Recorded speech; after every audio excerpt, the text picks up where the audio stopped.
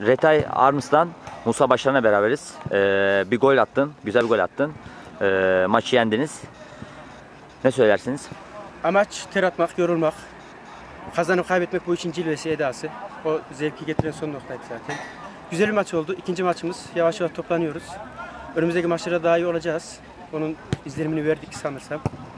Güzel bir maçtı. Teşekkür ederiz Odun Meydan ailesi olarak bizde. Biz de teşekkür ederiz.